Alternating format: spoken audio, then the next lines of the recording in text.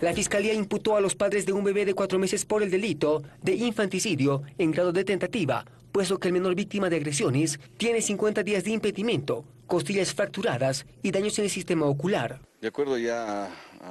a, los datos que ya se ha obtenido hasta el momento, algunas eh, referencias que tenemos, puesto que los dos eh,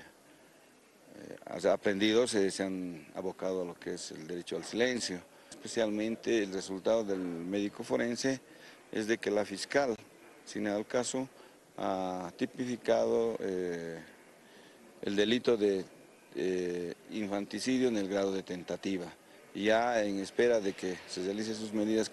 cautelares. La Fiscalía pide la detención preventiva para los progenitores del menor, bebé que actualmente se encuentra bajo observación. Efectivamente, el Ministerio Público va a solicitar a la autoridad jurisdiccional la detención preventiva de ambos por el hecho gravoso y pues se ha realizado todas las investigaciones de forma preliminar el día de ayer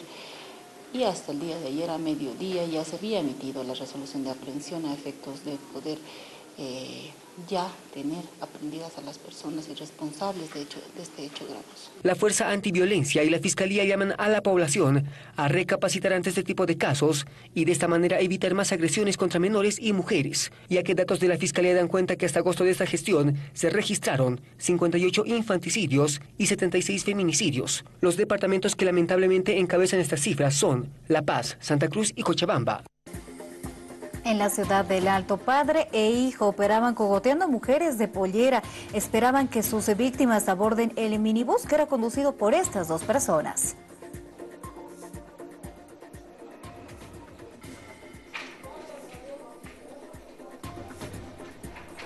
Un padre y sus tres hijos varones formaban una banda de cogoteros quienes operaban con un minibús blanco en diferentes